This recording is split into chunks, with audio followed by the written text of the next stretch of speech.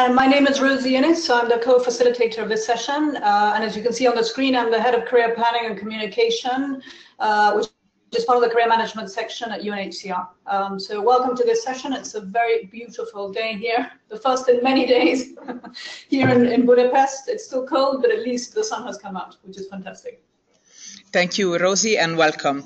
So the webinar today is going to focus on approaching the job market, and uh, we're going to go through a presentation to, to, present you with data on the application process and offer advice and tips on how to set an application strategy so that your chances of being selected when applying for a job are increased. Uh, and with that, I would like to ask uh, Rosie to to to go ahead and, start with the with the presentation. Thank you, Marcia. Okay, um, so just to give a little bit of an overview of what we've been uh, looking at and what we'll be looking in uh, looking at in the future.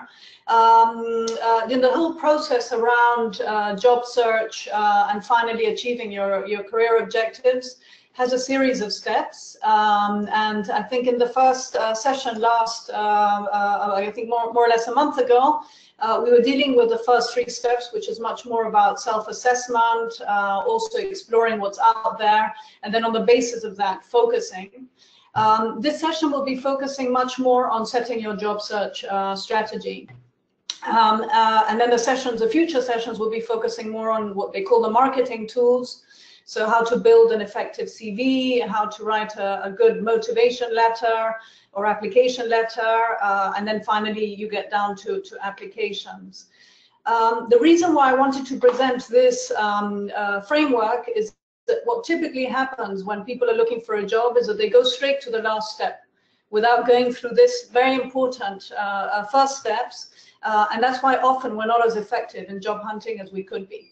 Um, so there is this process around really understanding who you are, understanding what the market is looking for, uh, you know, taking decisions, and then really understanding how job hunting works, which is what this session today is going to be focusing on. Um, so here's the titles of the of the sessions um, uh, that we've been uh, running and, and what we'll be uh, running. But just to give you, I, I, guess, a framework of why we've organized the, the webinars in the order in which we've organized them. Uh, because we know what typically happens is that people, the first thing they do is that they already start sending CVs or they start writing their motivation letters uh, without really understanding what organizations are looking for or really understanding how people are hired. Um, so I guess to start with, um, they talk about job hunting. So here you have a picture of three very beautiful cheetahs um, and a few what are they, uh, bucks um, in, in the landscape. and if you think about it, what qualities would you say good hunters have? And this is in the animal world, if you've ever looked at any documentaries on how, how animals hunt, uh, what would you say? You can use the chat for this. Uh, are the are the, um, are the qualities that a good hunter has? What is it that they do? So you can write your suggestions in the chat and then Marcia will be reading them out. Exactly. So colleague, use the chat box uh, to respond to the questions. Um, so what do hunters do? Uh, and we're getting already some of the first uh, uh answers. So they spot their targets, uh, they're strategic, they, they're patient, they wait. Uh, they're also fast once they spot their targets. they know when to pounce they're specific, they do their research, they wait for the target, they're organized, they focus. Yeah, absolutely. So, I mean, I think you already understood a, a, few of the qualities, and yet when we're in job hunting mode, often we don't do this. We go straight for let's apply, apply, apply, without actually really understanding what the what the landscape looks like, what are the barriers, where are the opportunities, where's the easier prey? Uh, you know, where often a cheetah will, will look at all these um, uh, herd of animals and they're actually going to focus on which are the easiest ones to go for. Um, uh, uh, I think also hunters are very aware of who else is there. Uh, because there's a very typical uh, behavior in job hunting, which is we tend to have a, an idea that we're the only person that's actually hunting for a job.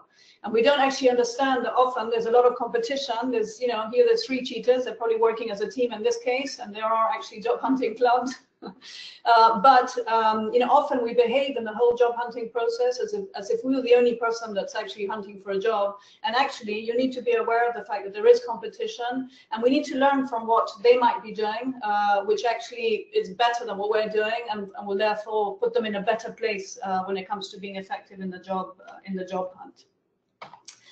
So what are we going to be talking about today? Uh, the first is to really understand how the job market works. Um, I'm going to be focusing this session very much on the external uh, job market, not necessarily the UN system. I think the UN system has a, a very structured way in which it uh, uh, uh recruits uh, its people. Uh, but I want to focus um, uh, more on the on the private sector, how people get jobs there, because I think some of the things that uh, happen there can be applied to the UN system in order to be more uh, effective. Uh, but above all, I think nobody teaches us how to hunt for a job. generally, when we're launched out into the market after you graduate, you do what everybody else is doing nobody nobody uh, uh, teaches you actually what is more effective, what is less effective, and that's why job hunting has such a, a reputation for being so difficult. Uh, uh, because often we're doing things, as I'll show you, that are actually not that effective. It might make us feel that we're actually doing things, but they're not always the most uh, uh effective things. So the first part of the presentation is going to focus on understanding the job market. you know, how, how do people get hired? Uh, and, and so on the basis of that, you can then define actually, okay, now I've understood what works better, what works less uh, less well, so that can help you define your approach. And then finally, uh, execute. How do, how do you execute that uh, approach? So the first part of understanding the job market. Um, another question for you. Uh, when you think of your past job hunting experiences, what methods have you used in order to find these opportunities and, and, and finally getting them? Uh, you know, how, how did you find these jobs? Uh, and if you can again use the chat, let me know uh, what, what worked for you when it came to job hunting. Okay, so I'm getting already some of the first answers, Rosie. Uh, we have networking, we have web, web news, uh, papers, networking again, internet, sites like uh, Relief Web, for example, um, online searches, uh, speaking to people already in that organization, online search, social media, social network, job search websites, career websites, referrals, uh, friends advice, social networks, job websites, UN sites. So this is what has come in so far. Yeah, I mean, people you know use a whole array of, of, of ways in which they can find the opportunities, and then you know what what works you know, typically people look at job boards that belong to organizations or if it's a private sector or a company. Uh, you know, what's quite typical that people start mailing out lots of CVs to different places and you have no idea where those are going to end up.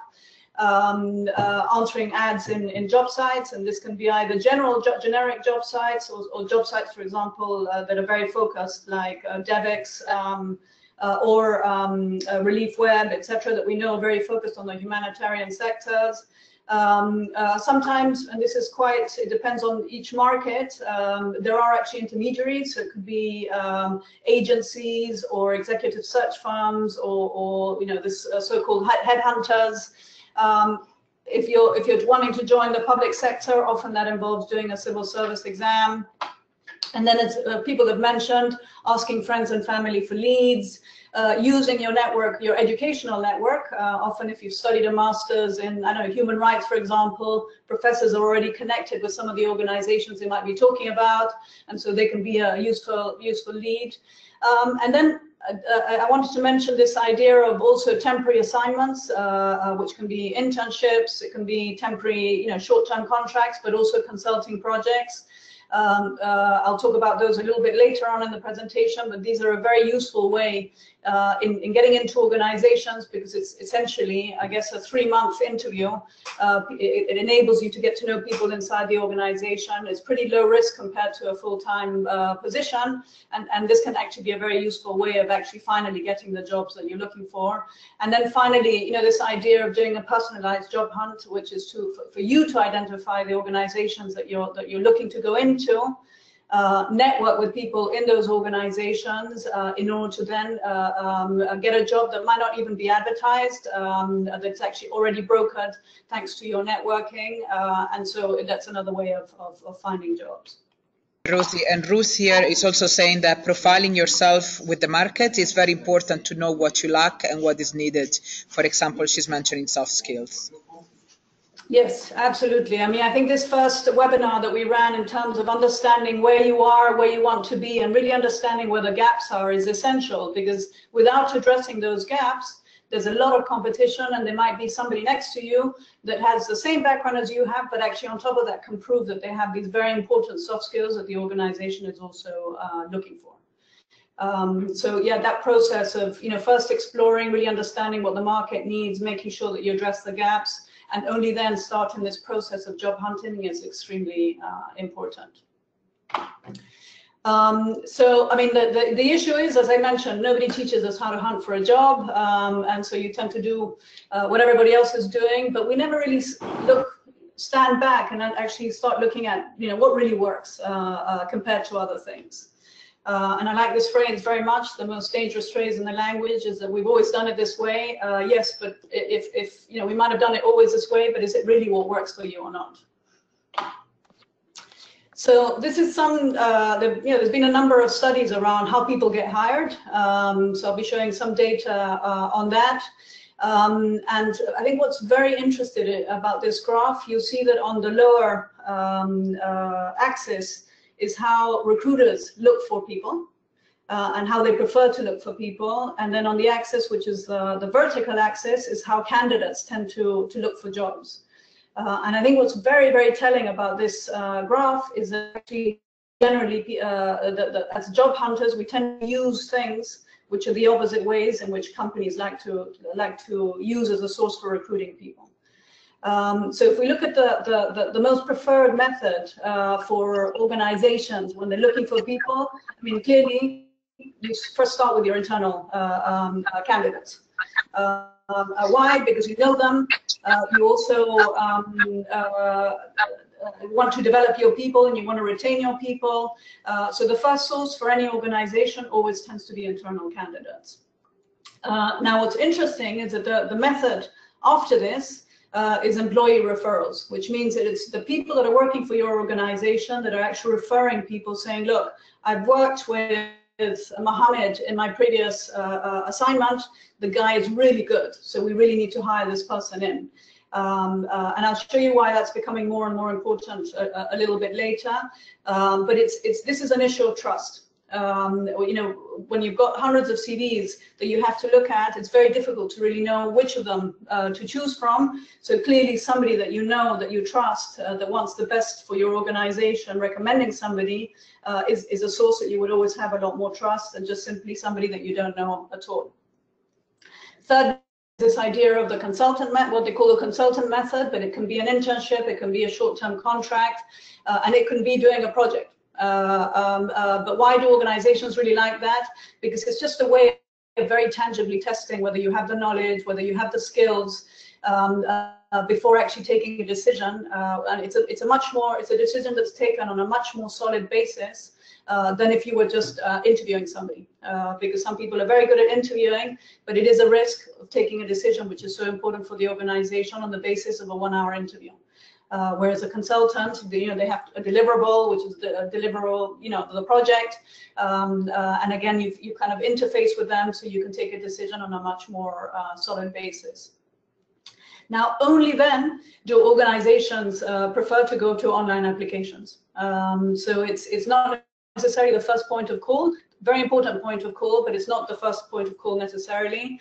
Uh, and now increasingly, and I'll be talking about this uh, in a bit, uh, organizations are really using social networks. This varies depending on what country you live in or what country you come from, but it, this is a trend that is going to be worldwide. Uh, um, uh, it's already happening in a lot of countries, uh, which is basically uh, organizations using the power of social networks to identify uh, candidates and to engage with them even outside a, a, a, job process because they want to already have a relationship with them. So when an opportunity comes back, they can already say, look, would you be interested in?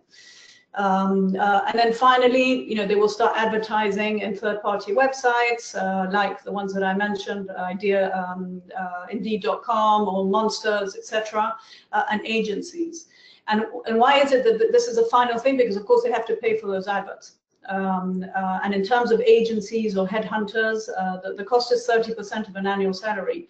So it's a very, very expensive method and one that you tend to only do for very, very senior uh, managers um, uh, that you want probably for confidentiality also uh, uh, to have somebody external looking for people for you, etc. But it, it, tends to be a last resort. Um, now, typically what happens in a lot of countries, agencies, it depends on the job market of each country. In some countries, they don't exist at all. In others, they actually represent a big part of the market. Um, but um, uh, I think what's what's interesting about this uh, is that often, as a, as a candidate, you know, the first thing you do is to go on these online job boards. Uh, you you you then you know want to go on the social networks. LinkedIn is really easy, uh, and all you need to do is click to apply to a position. Um, so you use all these methods, but they're not necessarily the most uh, effective uh, for you. Because sorry, sorry to inter sorry, interrupt just a sec. Can you speak a bit slower, just just a little bit slower, uh, so that because sometimes uh, people have difficult connections and it sometimes it breaks up. So if you can just slow down the pace, it might help uh, with the connections. Okay. Yeah. Sure. Uh, yeah. So just to I guess summarize this slide, I think what's really important is to understand that often the way that companies recruit uh, candidates uh, is in opposition to the way that we as job hunters look for a job. Uh, so you have to understand uh, that if employee referrals is a, is a very uh, preferred method by, by uh, companies to hire people, then you need to make sure that you meet people in the company or the organization you're wanting to join that can basically help you in that referral uh, in order to get the job. or often when you are looking for a job, you want you want stability, you want a long-term contract, um, but often it might not be the easiest way of getting a job because if companies what they like to do is to test you on a short-term project then it would it makes sense for you to actually do one of these projects because it does give you the opportunity to show your skills to get a network etc um, I mean, because I, essentially, when we when we're thinking about the job market, we tend to think that all jobs are advertised, um, and there's varying figures around this. Um, uh, I mean, I've, I've throughout the years always heard different uh, figures in terms of, you know, how big the hidden, what they call the hidden job market is versus uh, versus the, the, the open uh, job market. Um, but the, at the very, very, very least, um, only 25%, I mean, that's the highest number I've ever heard. 25% of the market is open, which means the advertised market. That you can actually see these adverts on the job boards, you can see these adverts on a company website, uh, etc. And 80% of the transactions of how people actually get jobs is through the hidden market, uh, which is you know this referral system. Uh, it's companies directly identifying candidates through social networks uh, or through their networks uh, generally. Uh, and so it's very important to understand that if your job search strategy is only going to focus on the advertised part of the market, you're actually missing out on this 80%. Uh, and so essentially what's happening is that you have uh, you know, very few uh, jobs in comparison to the number of jobs of, you know, that people are being hired. Um, so, so, so you have a lot of candidates going for very few jobs. Um, uh, so you have to have this, um, take it into account. Now, the UN system, by by law, has to publish all its positions. So it's those are going to be advertised anyway. Um, uh, but the rest of the market um, doesn't have that obligation. Um, so a lot of people are brought into all these different kinds of uh, uh, companies and organizations outside uh, uh, a position that is advertised. Uh, and if you really want to leverage the full market, you have to be very aware of the fact that a lot of it is hidden. and the way that people are getting jobs, I'll, I'll talk about right now. what, what, what, what, what are those methods? Or what, how does that market look like? Um, now, what's super important is to understand the impact of technology and the impact of social media uh, is having on this proportion of what is being advertised versus what is uh, the, the hidden job market. Um, uh, because thanks to thanks to social media, thanks to to technology, basically uh, the, the, companies don't need to advertise because they can find the candidates very easily for themselves. Um, so understanding that social media now has to be part of the way that you that you find these opportunities and engage with employers, etc. Uh, it has to be necessarily now part of your job search um, strategy. Um, and these are surveys that have taken place, uh, Europe, mainly the US, um, but I've, I've, seen very similar surveys for Brazil, for Mexico, for example. Um, so as I say, it might not be applicable to all countries yet, but it's something that is definitely coming. Um, uh, because what's happening is that organizations, uh, thanks to uh, social media, the fact that all these profiles are online, uh, can directly, you know, why advertise something if you can actually do a search on LinkedIn and find the candidates uh, um, uh, directly. Uh, and when they've started doing, and this is mainly uh, the, the people that were surveyed in this uh, survey were mainly large corporates, um, uh, you know, 92% of them said that they will be using uh, social networks as a means for identifying candidates. Uh, and where do they look? The, LinkedIn is the number one site, professional site, but they're also using Facebook, they're also using Twitter, uh, Google Plus. Um, so, so there are you know other uh, methods outside these that they're also looking uh, in order to find uh, candidates. Uh, and this is really, really important because our attitude as job hunters is still very old-fashioned compared to this very fundamental shift in the job market. Uh, and we have to shift with it um, because that's the way that companies are hiring. so it's very important to be aware of this. And, and, why is it that organizations and companies, and, and, I'm talking about organizations because this is happening at UNHCR right now for certain positions as well, why they're using social media uh, uh, to identify candidates. Uh, well, A, because you don't have to pay for it, so you can, uh, or you pay, uh, uh, in the case of LinkedIn, you know, premium recruiter, but the, the, cost is relatively, well, it's very small compared to having to pay an agency to do the searches for you. Um, so you can directly identify candidates, um, uh, uh, and so it saves the cost of using an agency to find them. Uh, and the thing is that now with LinkedIn, uh, for example, you can have 100% fit. Uh, in the past, maybe you put an advert in the local newspaper, you would get CVs, and maybe you would get candidates uh, you know, 80% fit, and so you had to compromise on the fact that the 20% wasn't there because maybe what you were asking for was, you know, uh, uh, kind of wish list, if you like. Nowadays, thanks to technology, because there's so many more candidates there, uh, the likelihood that you're going to be able to find 100% fit is, is, is much higher. Um, uh, and then finally, also for, for very specific functions where there's actually a lack of people because it's either something very new uh, for example, in the private sector, digital marketing, there's not that many people that are experts in digital marketing. So all organizations are fighting uh, uh, for these uh, candidates. Uh, in the humanitarian sector, CBI or CRR, uh, these are new things that require new expertise, and there's not that many people that have an expertise. So all the UN agencies are, are, kind of fighting, if you like, for talent. Um, uh, and, and so what, what are they doing? Well, you know, you know that you might need these people in the future, so you engage with them. Uh, you know, you send them things that might be of interest to them, that enables them to get to know, you know, what your organization. So you already have a relationship with them. So when you do actually have a job opening, you can already say, look, would you like to work with us? And because they know you and they've developed that relationship, it's more likely uh, that they will that they will attend. Um, Another reason why social networks are becoming so much more important is because it's been seen as also a very effective way of not only finding candidates, but actually finding candidates of the quality that you're that you're looking for. Uh, so you see here two separate um, uh, studies. Uh, in the case of one, as I mentioned, employee referrals is, is proving to be a very effective way of finding uh, the candidates that you're looking for.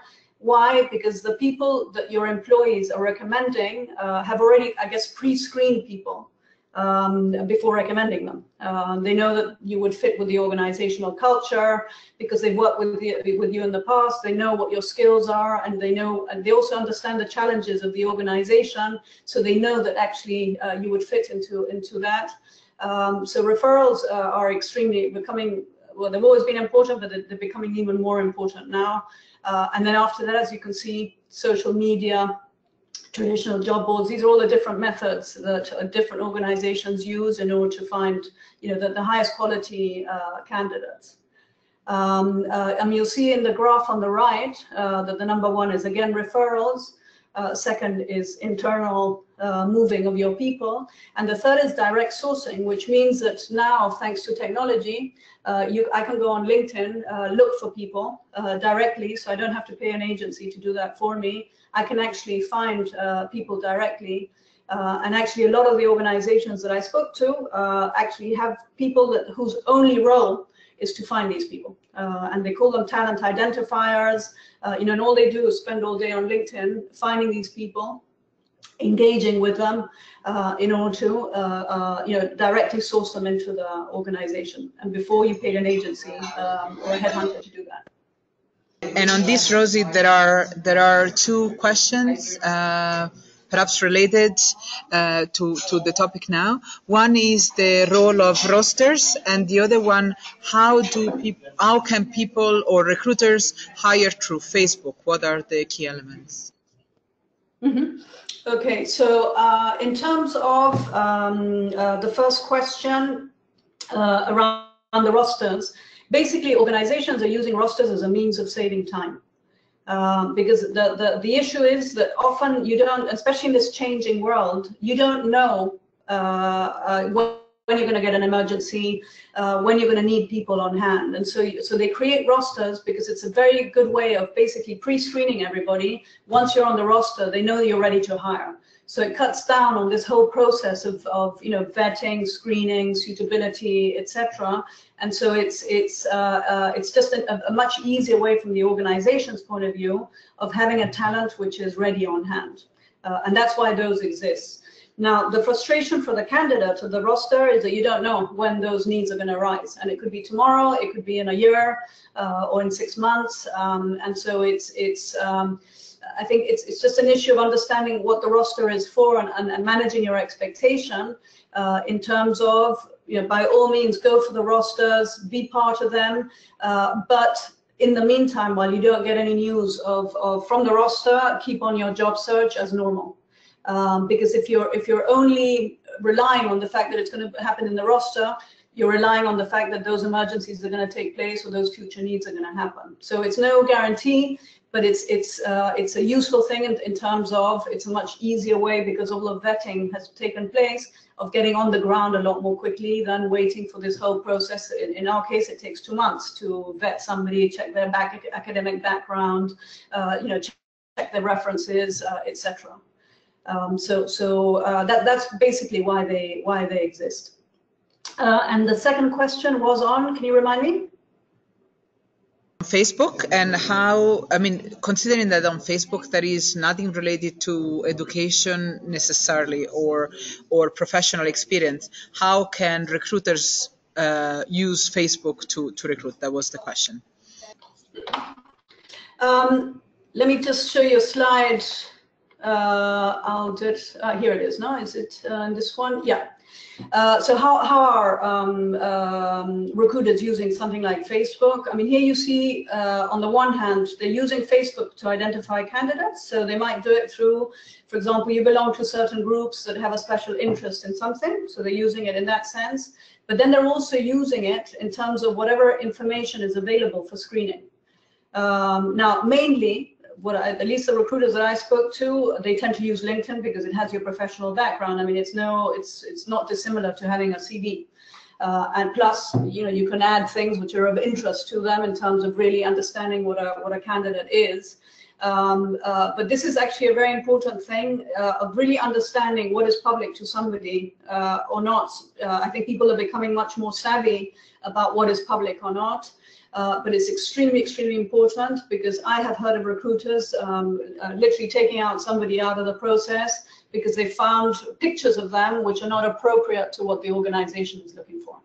Uh, and one might think that's not fair, it's my private life, I can do whatever I want, uh, but people do make judgment on these things. Uh, or maybe the type of comments that you might have left publicly are not in tune with the corporate culture. Uh, might be, I mean, anything that you might have left, you know, very, um, I guess, uh, in tune with maybe your friends and your values, but it might not be in tune with the values of the organization. Um, so it's, it's very, very important to really understand what digital footprint you have out there. And I would recommend just do a Google search with your name to see what comes up in terms of images, in terms of photos, and neutralize anything which would not be adequately, uh, you know, valued by a recruiter. Um, so uh, here you have some figures around, you know, at which point do they do they look at this? Uh, often, you know, it's just after receiving an application, uh, but maybe sometimes it's, you know, once they've had this first, uh, um, I guess, screening call, uh, they would might they, they would go in and see what more information is there, um, uh, uh, and and this is something which is I guess relatively new for us. in, in the in the past, people would call up your references and that would be it. Um, but it's becoming uh, more and more uh, uh, frequent, and as we've been seeing in the news, you know, your data goes to a lot of places that you might not want them to go to. So you have to be very, very conscious of what you put up there uh, to make sure that it doesn't undermine you in any recruitment process that you're going through. Um, now, the other factor is this idea of referrals. Um, uh, and I'm going to talk about this because this is extremely, as you saw, it's actually a, a very, very high source of, of way in which uh, people get jobs. Um, uh, you know, I, I was, when I started researching this, I thought, well, referrals, maybe it's 5%, you know, something like that, or 2% of people are hired through referrals. Everybody else applies, they go through a process, etc. And I was really shocked, actually, in the interviews that I did with all recruiters mainly in the healthcare uh, and the um, uh, IT sector, as to how high it actually was. Um, uh, and as you can see here, and this is from 2014 because I've been here for two years. Um, but I mean, up to, I mean, I, I, worked with eight out of the 10 top pharmaceutical companies in the world. Uh, and I was amazed, you know, up to 45% of people were being hired through this referral uh, system. Uh, and in, uh, in, June 2014, I went to a conference in London with recruiters from all kinds of sectors. Uh, and there, Accenture is one of the largest uh, consulting firms in the world. 40%, uh, they stated 40% currently was there, um, uh, that everybody was being brought in through referral system. But, but their target was that 100% of people would be brought in through referrals uh, King.com, you know, Candy Crush, I'm sure everybody knows. 35% um, uh, and Uber, that I'm sure a lot of you know as well, was 35% of the time as well. So it is actually becoming much more more uh, important. Uh, and why it's, uh, as I mentioned earlier, it's it's this idea of trust. Uh, you know, it's people you know, um, basically telling you, you know, this is a really good person to hire because they have the right skills, etc. Um, uh, and, and what was very interesting in those conversations is that all the recruiters told me, look, a lot of organizations are moving to this idea, moving away from this idea that talent attraction is only the responsibility of HR, and you have, you know, your talent outreach and acquisition uh, section, which is what we have here, and it, and it's only up to them uh, to be responsible for hiring people in. Um, uh, now, so, so uh, it's becoming a much more global responsibility in, in, in, organizations, and that's especially in, in functional areas or in roles which where it's very difficult to find people. Um, so here at UNHCR, for example, finding uh, um, field safety and security people is, is difficult. In the UN system generally, again, the organizations are all fighting for this uh, talent. Uh, and these, these people all belong to a network that they all know each other. Uh, so when you're looking to hire somebody in, the first thing that you do is to ask your FSS people and ask them, can you think of anybody that we could contact? Because we really are looking for people. Uh, and that's how, you know, uh, people still go through the application process, but how they learn about these opportunities uh, is through that referral uh, system. and what's quite interesting is that because in certain areas, the, the war for talent is what it is, uh, in order to encourage their employees to think about the people that are looking to attract, they even give them a bonus for successful candidates. Um, and in my research, I mean, this bonus went from, I'll show you now, this is the World Bank. Uh, so with the World Bank, uh, uh, uh was I think it's $400. Um, yeah, $400. Uh, but I mean, in the private sector, it could be 6,000 euros. Um, so it's not a small amount uh, of, of money for just simply suggesting somebody that would be good for your organization. Uh, now you get the bonus once the candidate is on board, they work, etc. It's not that uh, just by suggesting a, a name you're going to get a, a bonus. Um, uh, but why are they doing this? A, to encourage it, but also because um, it's a lot cheaper than, than getting a headhunter to do the same thing for you. Um, so, I mean, this is the old-fashioned example of referral, and this is a real example um, uh, of um, that I got in 2014.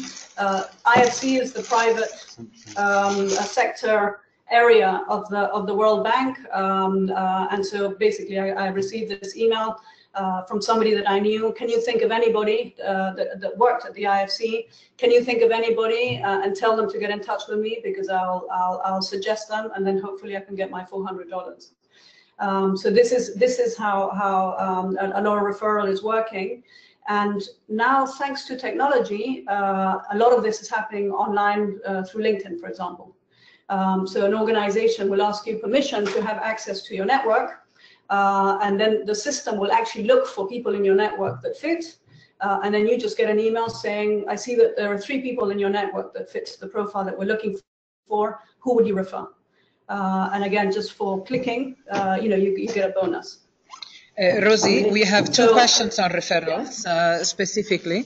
Uh, Mariana is asking whether she should contact uh, the organization then prior to applying for a job, uh, whilst Farai is actually questioning whether uh, approaching an organization beforehand is this not actually canvassing and would that be frowned upon? So if you can clarify these two points, please. Um, so in the, the, answering the first question, Mariana's question, yes, absolutely. You need to develop these relationships before you even apply. Uh, and why is that important? Uh, because it sort of answers the second question. Um, I mean, basically, there's uh, IFC, uh, not IFC, UNHCR in the last year has received 30,000 applications.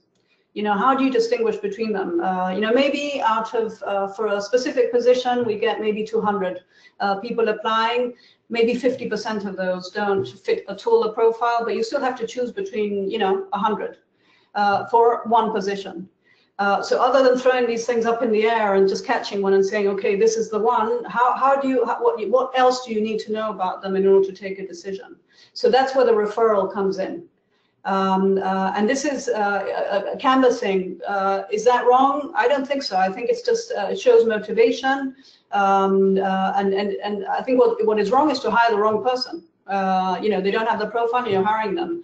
But hiring the right person because they've been motivated and they've, uh, you know, shown what it takes, etc. I don't think, I don't personally see anything uh, uh, wrong with that. Now, I think what is really important is to develop these relationships before you even apply, because uh, if you if you try and do it at the same time, then yes, uh, it's much more uncomfortable. There's more of a conflict of interest. But if you've developed the relationship before, uh, and then when you apply, you just simply send an email. I'll show this later on, uh, saying, "Look, by the way, I've applied. It would be great if you could refer me." Uh, um, you know, that doesn't that's not a problem at all.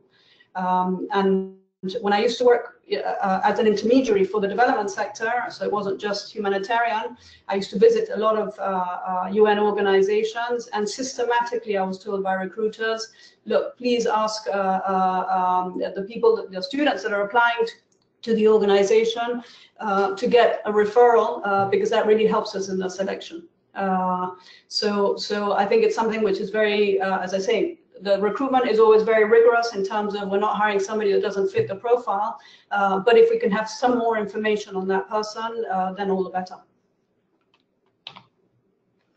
So I guess, you know, key message, it's it's not only what you know. Uh, um, I mean, my father, I think when in the 1950s, it would have been, he had a boss uh, that used to say, it's not what you know, it's who you know. Uh, and, and that hasn't changed today. Uh, you know, who you know really matters.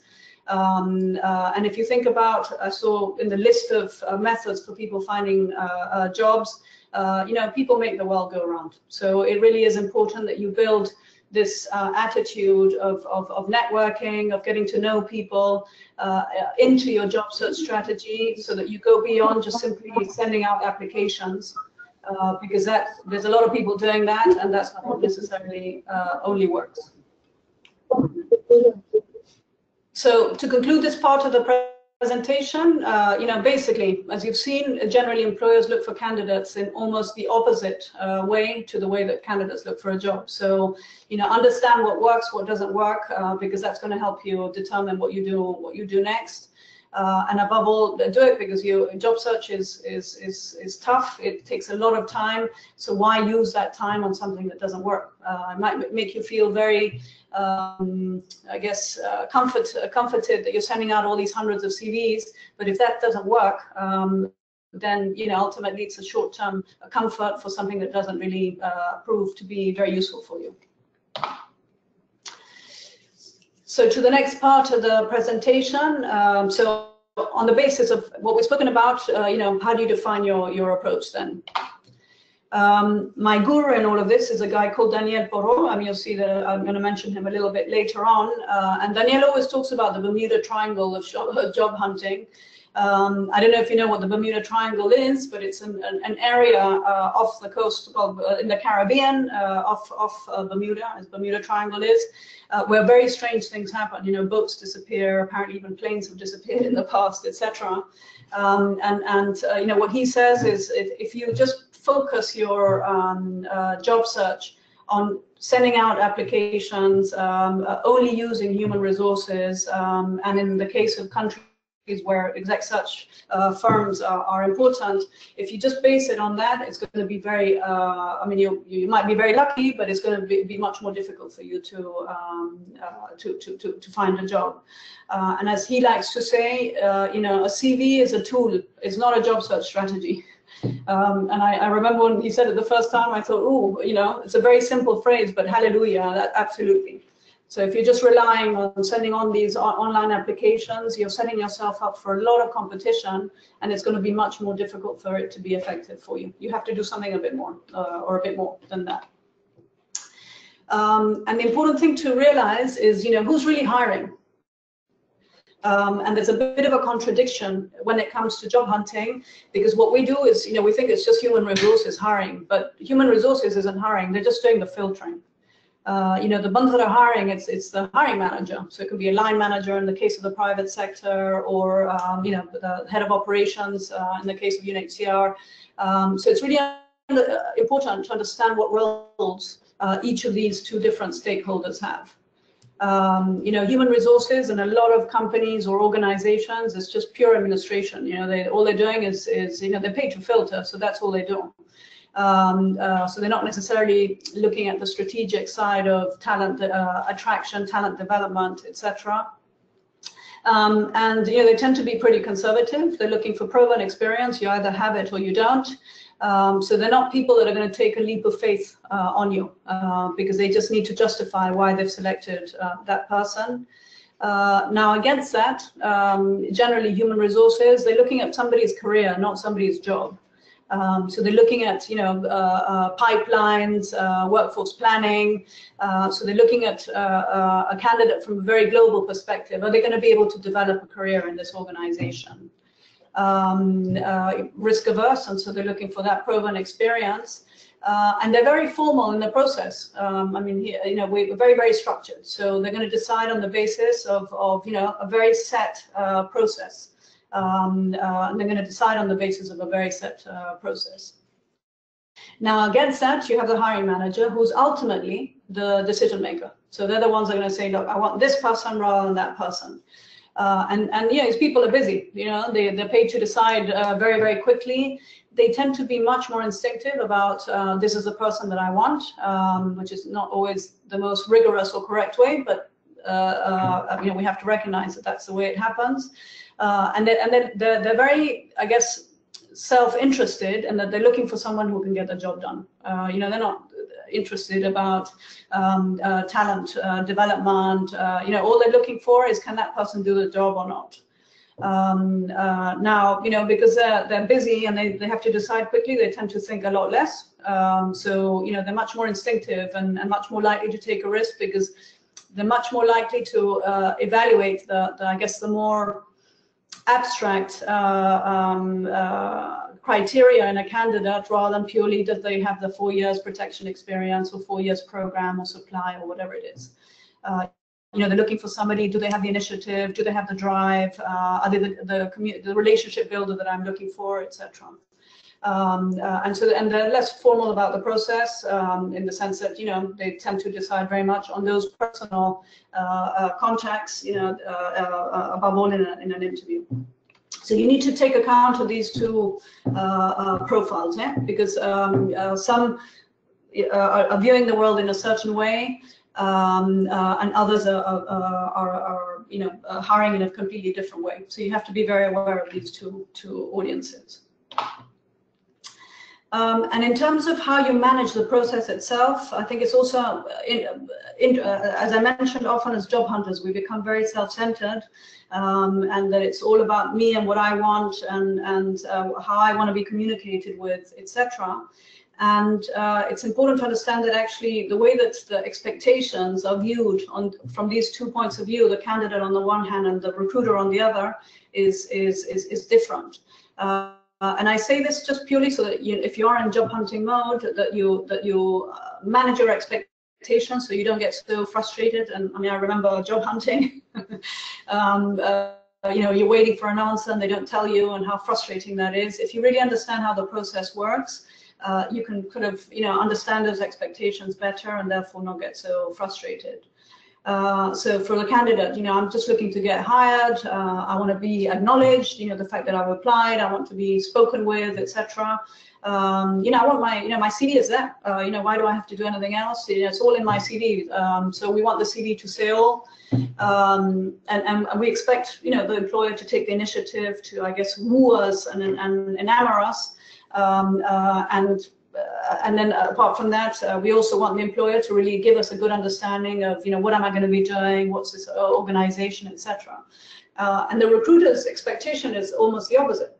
Uh, so you know, for them, the, the, the, they're getting a whole lot of applications, and their whole the process is look, how do I start whittling this down uh, to to very few candidates? So so for them, it's an elim elimination game.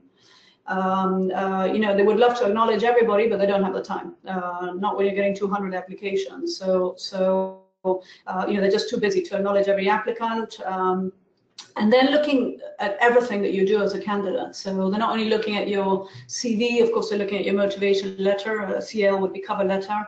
Um, but they're also, you know, seeing how you interact at every stage, you know, your calls, your the tone of your emails, uh, even how you might negotiate your salary. In in, uh, in the private sector, there's always negotiation of your salary. In the public sector, it's set. Um, uh, so that they're reviewing absolutely everything. Um, uh, and, and they're really expecting, you know, since I don't have the time, just, you know, remind me. So they expect the candidate to take the initiative. Um, and then finally, uh, you know, what they're really expecting is, is the candidate should have to show motivation and that they've done your research, that you've really understood what this um, uh, uh organization does, what does a position entail, uh, what, what it's like to work there. So they really do expect candidates to, to, to go the extra mile and really find out about them and what they do. Um, I always view different organizations like um, as if they were fortresses, uh, and you know they feel that they're very very difficult to get into. Um, certainly the UN system is. Uh, because there are an awful lot of applicants and you know the walls seem to be very very high um, uh, and so how do you get up these walls in order to finally make it into the into the fortress um, and the way that we tend to behave as job hunters is, you know, as if we were some kind of army, you know, that uh, a position is published and we all line up and we all apply. Um, and and uh, and that's fair enough, uh, but it's going to be very difficult for you to stand out if that's the only way that you do things. Uh, because essentially it becomes a numbers game. Yeah, you know, when there's so many people applying, uh, then you're going to have to apply to a lot of positions unless you're tremendously lucky uh, to be the one selected out of the 200 that have applied. Um, so, so it's it's um, important to understand this is a fortress. You know, how am I going to get into that fortress? Uh, and if I behave like everybody else, is this going to be effective uh, for me? So, how do you get the door open? Um, you know, all castles have a drawbridge uh, that is, you know, reeled uh, uh, down. You know, how do you get them to open the door for you?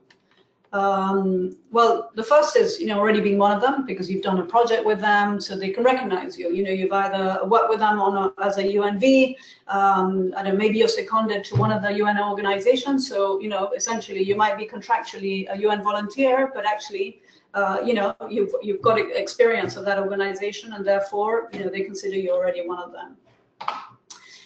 The other one is we've already spoken about referrals. So somebody needs to recommend, uh, you know, to tell the guys there at the gate, look, uh, pull the, the, the door down because this guy is a good is a, is a good uh, good girl to have uh, to have with us. Um, another way, as I mentioned, is this idea of low risk entry. Um, so it's not going to be a big problem if you go in because actually what you're in for is, is a short term project. Uh, it's a consulting project or it's an internship or a, or a, or a TA. Um, but you know, it's just a way of intelligently getting your foot in the door. And once you're in there, uh, people can get to know you. They can see what your work, the quality of your work. They can see the fact that you have the skills um, uh, uh, in order to do that. Uh, in order to do that job. And finally, of course, the ideal thing is to be a scarce resource. Uh, and this is where, in terms of career management, we need to be uh, intelligent. You know, we need to anticipate what is it that organizations are looking for that is a, that is scarce in the market. Um, so it can be uh, knowledge of a new technology because that hasn't been really rolled out generally. Uh, it can be uh, knowledge of a new methodology. Um, uh, so we need to, as, as candidates, a, a, very good way of managing our careers and ensuring that this process of getting the door down is much easier uh, is to focus our careers not on the mainstream uh, knowledge necessarily, but on actually always being at, ahead of the curve in terms of what's happening with my functional area.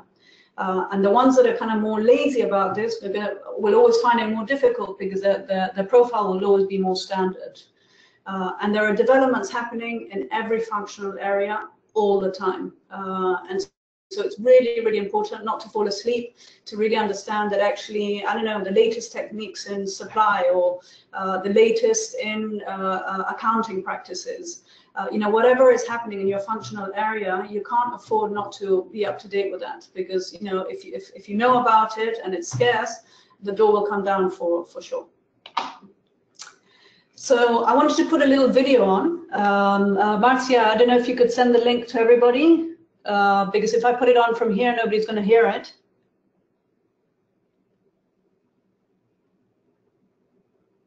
Um, I will send the video and I will also launch it from here. I will try to launch it from here so that uh, hopefully this will work. Um, just give me a minute. Okay. So,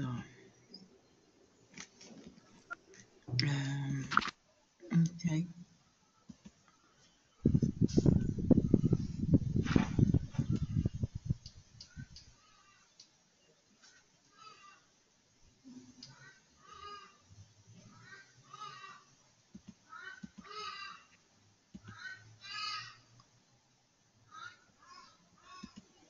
Just uh, sorry, uh, my apologies. I, I have only one screen today, so I'm I'm struggling a little bit.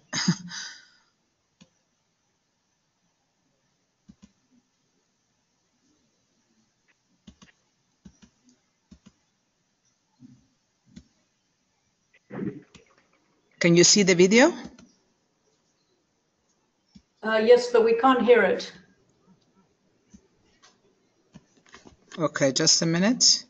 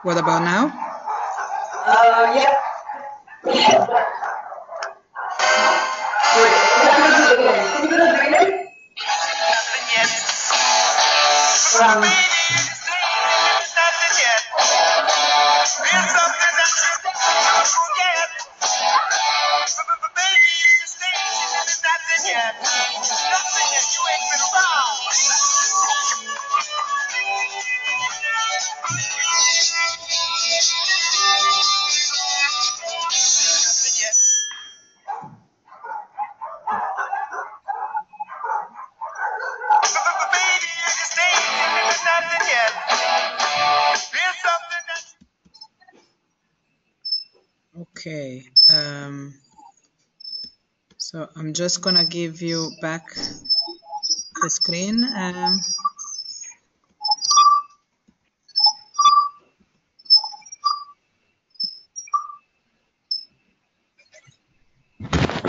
so Rosie, you should be able to see, uh, you should be able to have your screen back.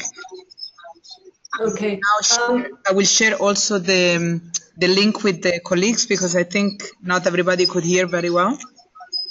Okay, yes, I'll give you a, a couple of minutes to do that. I mean, it's a very short uh, video.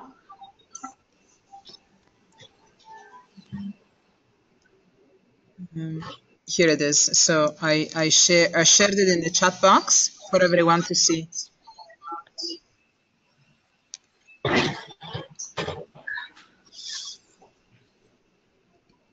So I'll just give you uh, yeah, a couple of minutes to look at the, the video.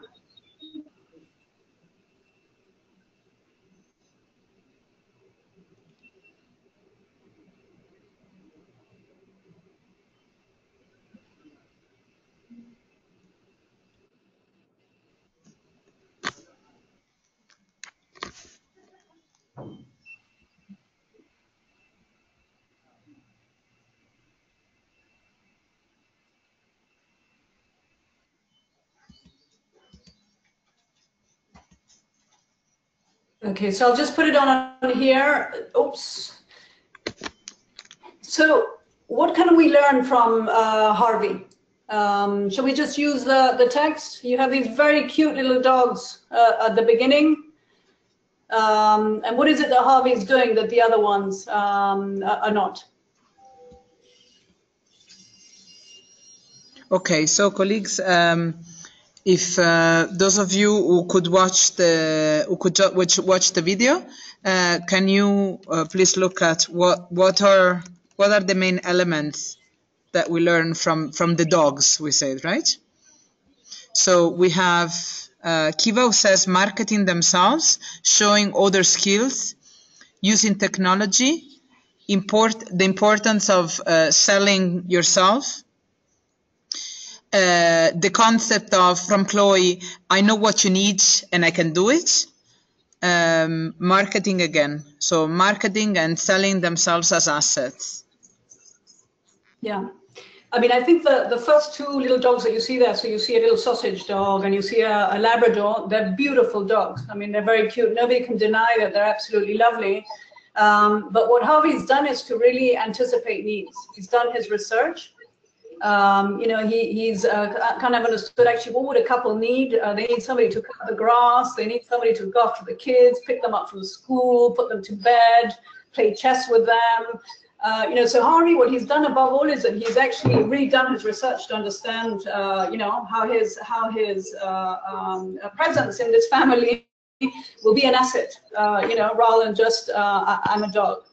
Um, and I love using this video because I think it's just a very good way of showing that actually often uh, the way that we present our candidacy is this is a regular applicant um, and, and all of you have amazing experience and you have skills that you can contribute with. But instead of presenting yourself as a, as a resource uh, uh, of those skills, etc., uh, you tend to just I'm just submitting my application. I'm just going to be a regular um, uh, applicant.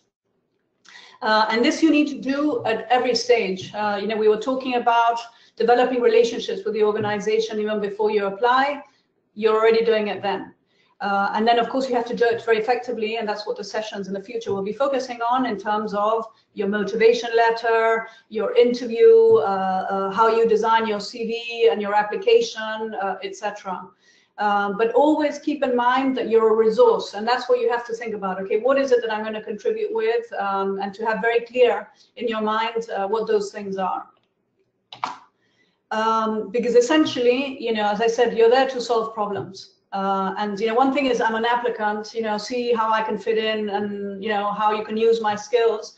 Another thing is that you're actually presenting yourself as a, as a problem solver.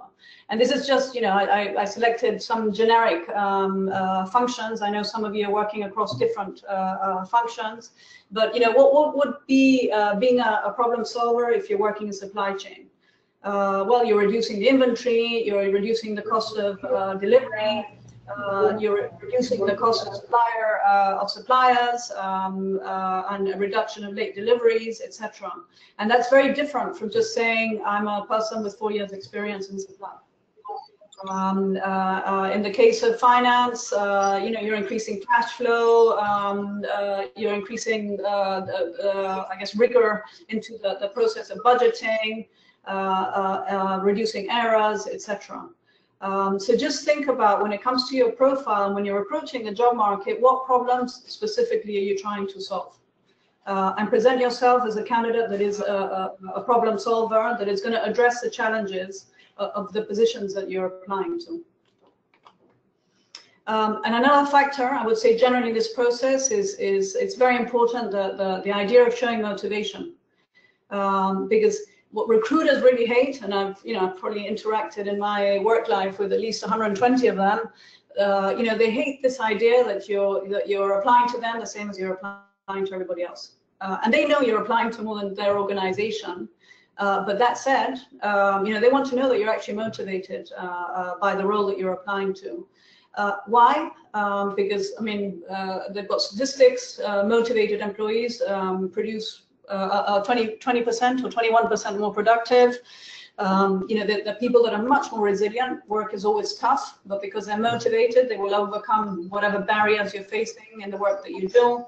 Um, uh, if you're motivated, you identify with the organization, uh, and you know, there's fit, uh, cultural fit, um, uh, organizations hate people leaving because it's very costly. You need to find somebody new. You need to train them. Uh, uh, and also, because people are motivated, there's going to be less of the type of behavior that, you know, organizations wouldn't want. And here I'm talking about, uh, you know, code of conduct issues, um, uh, it could be issues around uh, corruption, uh, etc. So, so motivation is not just something that oh, you know, we want motivated people. There's a very tangible reason why organizations uh, want motivation. Uh, and then on the other hand, of course, for you, I mean, job hunting is a chore. So you, you, I mean, the, uh, being motivated is extremely important in this job hunting process. because, um, as I say, you need the energy to drive you forward uh, it's definitely what um, separates uh, a candidate um, uh, average from standing out. Um, uh, and you know, if you're not convinced that that's a position that you want, how are you going to convince anybody else? Um, so, so really important those two factors of presenting yourself as a resource, and on the other hand, also presenting your your motivation. So to conclude this part, um, uh, you know, understanding what HR and the hiring managers uh, expect from you will, will just make your job search a lot more efficient, also more effective. Um, uh, also understanding how that process works from the point of view of the organization will just help you understand, uh, you know, adjust your expectations and therefore make the whole process a lot less stressful um, you know, think about how you can get that door down. Um, that if you behave like the army, all attacking the wall at the same time, uh, you know, it's it's a process, but it might not be the most uh, effective process for you. So just think about, you know, what methods can you use to get that back door uh, uh open for yourself. Uh, and then above all, when you're actually already in the process of application, uh, you need to, to, to, position yourself as a, as a motivated problem solver rather than I'm just applying for a job, which is what a lot of people uh, do. Now, in terms of execution, so we'll just get back to the, just the last part of the presentation. Um, I think what is really important is uh, depending on where you are and where you want to be, you're going to have to be more proactive or you can afford to be. I don't think you can ever afford to be passive, but you can afford to be a little bit less proactive. Um, uh, because the less you fit, uh, the more proactive you're going to have to be. Because if you rely on the application process, it's going to be very, very unlikely you'll ever be selected.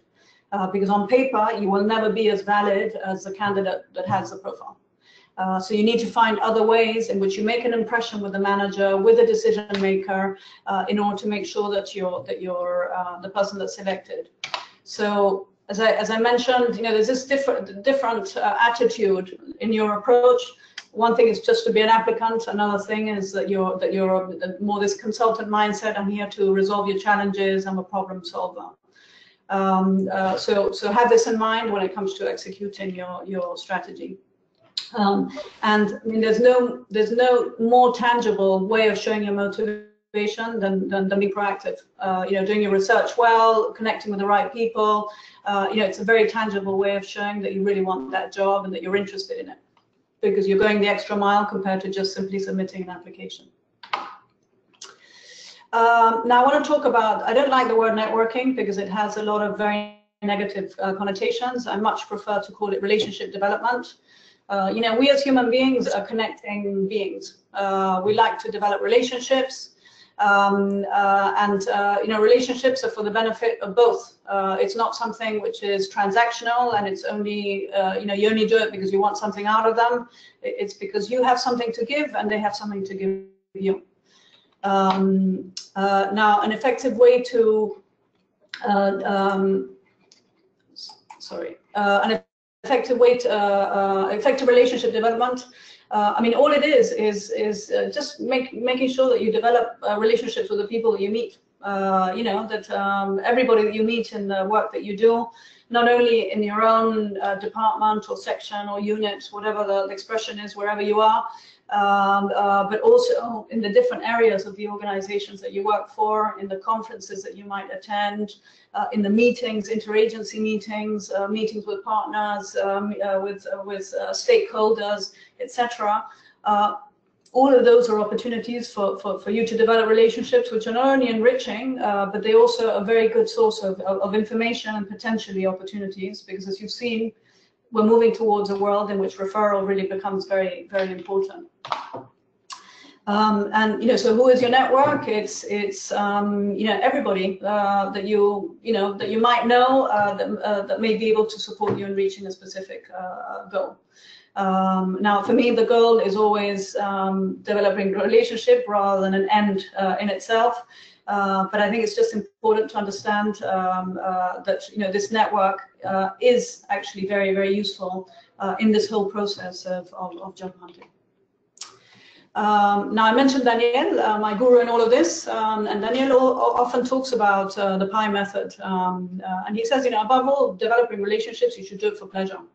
Um, uh, you know, you, you, you do it because you like people, uh, you enjoy uh, what they, what they, how they enrich you.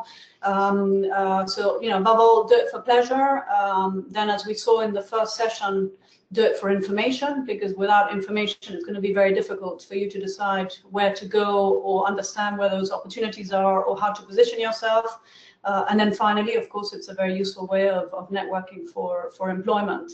Um, you know, people tend to think of networking only for the E, and, and no, not at all. I think there's these two other very, very important uh, elements um, that if you do those first two really well, the, the third one looks after itself. Um, and why, why develop relationships? Um, uh, it's very interesting. This book was published in 1973. It's called The Strength of Weak Ties. Um, and what's very, very interesting is that we tend to think that those close to us are going to be the best source of uh, information about opportunities. Um, uh, and actually, this study proved that it's actually the weaker contacts that can often be much more useful. Uh, why? Because you know people in your network uh, know the same as you do, so they won't necessarily uh, give you fresh information or ideas because they tend, you know, people that you know close to you. Uh, uh, we tend to gravitate towards people that do the same things as we do, have the same interests, etc., and therefore the likelihood that they know what you know is quite high. Um, so, so by all means, don't just stick to the people that you know best. Um, on the contrary, uh, you know, have lunch with the person that's working in a different uh, uh, agency or department, because actually they might give you ideas uh, that your close network uh, won't be able to give you. Um, we have the slide in the, in the last presentation as well, but I mean, I think we need to go through this exercise of actually really sitting down and thinking, okay, who do I know? Um, because we, of course, we know our friends, hopefully, um, uh, but actually in our whole life, we have interacted with millions of people uh, in our work, uh, as I mentioned, in, in uh, different conferences and uh, workshops uh, at university, etc. And actually, you probably know a lot more people than you think you know. So, so going through this exercise of really doing an audit of, of you know, who, who, who do I need to reconnect with can be very useful. Um, and in the end, it's just a matter of, you know, I'm not saying follow this at all. It's just, um, uh, you know, just try to anchor the people that you know based on where you want to go, because in the end, this whole process of developing relationships, etc., takes a lot of time, uh, and you can't do this with everybody. So it's just a good idea to sort of focus on the people that you're most, uh, you know, likely um, uh, to be able to contribute to, and they contribute uh, uh, back. Um, uh, but be systematic about it. Uh, is is uh, the point that once you have a matrix of, uh, you know, I want to work in finance uh, in these different uh, sectors, um, then i am going to put a name next to the people that actually work in those sectors in that function because these are the people that I need to start, you know, getting information from, developing relationship with, etc. Now, a question for you. Um, what do you think that, you know, when you contact somebody, you know, what could they possibly feel? And again, just use the chat. You know, what are the different emotions that might be going through their head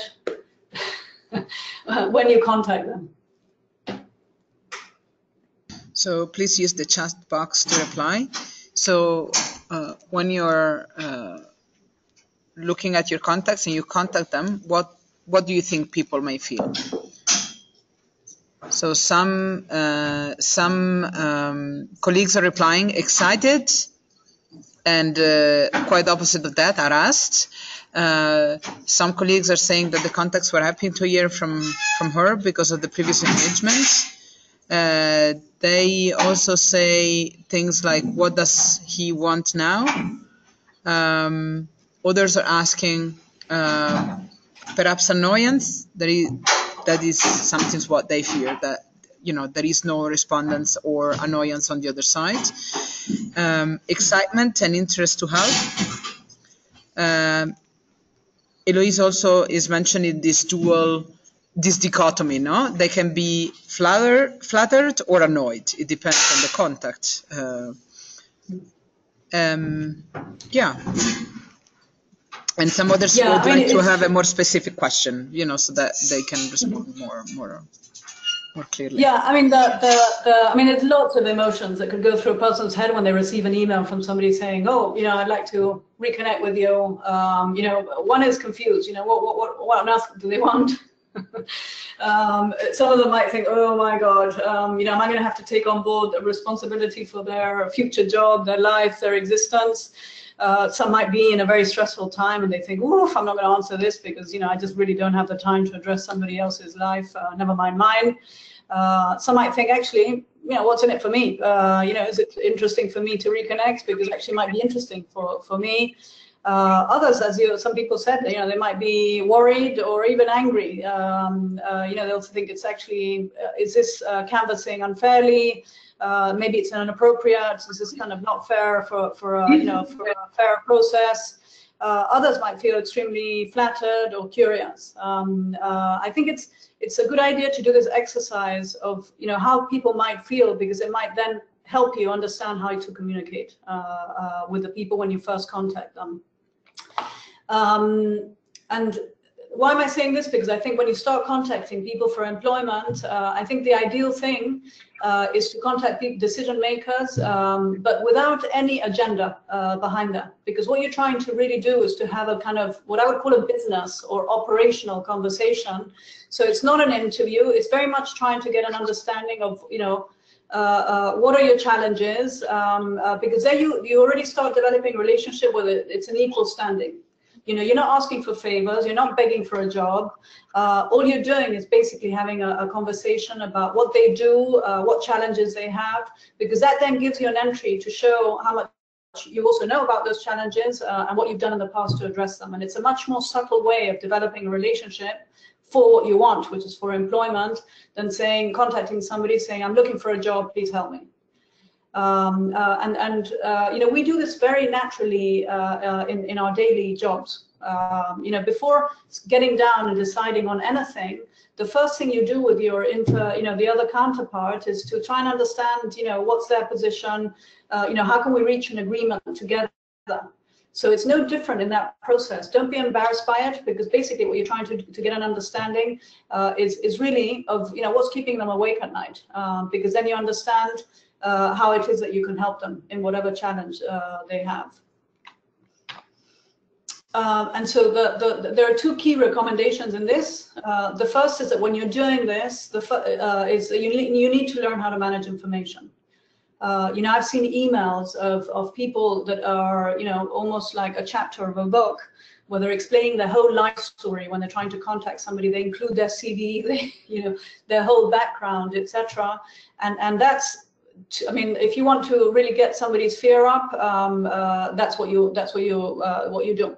Uh, because suddenly they think, oh my God, you know, they're asking me to get them a job. I don't even know them from anything. Uh, so you need to manage information in a way in which you start developing relationship first, ultimately for getting what you want down the down the line. Uh, so ask for advice, not for a job. Uh, this is a number one recommendation. Never ask for a job directly. You know, they, they don't know you from Adam, so why on earth should they give you should they give you a job? This is a matter of getting the information that you need so you can have a business conversation and then just see how you can work together. And as I say, it's something that we do very, very naturally in our daily work, but for some reason we don't tend to do it when it comes to job uh, to job hunting. There is a question so from uh, sorry. Yeah? There is a, a, question from ER and asking if whether it is a good sign when somebody from let's say from a company, a recruiting company, or from the hiring committee encourages you to apply writing privately without having met before. So it's asking whether this is a good sign um, and how to interpret it. Yeah, I mean, it is a good sign in the sense that they've, they've pre-identified your, your uh, they, wouldn't, they wouldn't contact you and ask you to apply if they didn't think that your profile was interesting. Um, so, you know, as they say in Spanish, you know, el terreno lo tienes ganado, no? It's, there's that first part of filtering your, your profile uh, that has already been done. And so what they need you is to go, all application processes need to go through a, through a process. So they need you to go through the process in order to, I mean, it doesn't guarantee you a job. It just means that they, they, they, they've looked at your profile, they find it interesting, and therefore they would like you to be an applicant. Um, so it is, I, I, would say it is a good sign, yes, because they would never do that unless they didn't think that your the candidacy was attractive. Now, if they're doing it with you, they might be doing it with other people as well. So you're not going to be the only candidate because, you know, in the whole process, they lose candidates because maybe they're at that point they're only exploring, they're not really certain that they want to move jobs. Uh, or they've just accepted another job and they don't want to, you know, uh, go through a process again. Um, so, you know, it won't be you won't be the only person they're contacting for sure. But yes, I would say it's a good sign because that part of the screening has already been done. Um, so key recommendations when you're contacting people, keep it really short. Uh, you know, nowadays we all look at uh, emails through our mobile phone. Uh, so anything which is too long is uh, kind of deleted uh, or kept for much later. Um, uh, so, so really important that you keep it really short. Um, and as I said, you know, ask for advice, not a job. Um, Steve Dalton is, is a guy that wrote a book called The Two Hour Job Search. Um, and then he, he, he proposes this framework of his five point email, uh, which he says 100, I think is probably a little bit too low. I would say 120 words or less. No mention of jobs in subject or body. Uh, uh, if, if it's somebody that's referring you, you know, I'm contacting you because you've got some uh, connection in common, you know, your, your um, uh, friend or your supervisor or your colleague has said, oh, you know, you should get in touch with that guy because, you know, uh, he, this is what he works in and so it would be interesting for you to contact them. Mention the connection first because that's clearly what's going to really hook them. Uh, and keep your, your interest very general um, because the more specific you make it, the more you close doors. Um, so if you just keep it kind of generic, uh, uh, again, this is relationship building. So it's, it's if you keep it generic, it's less, um, I guess, threatening, if you like. Um, uh, it's less easy for them to say, oh, actually, I don't, I don't work in that, so I have nothing to say. Um, uh, uh and then maintain control of the follow-up. And let me give you an example.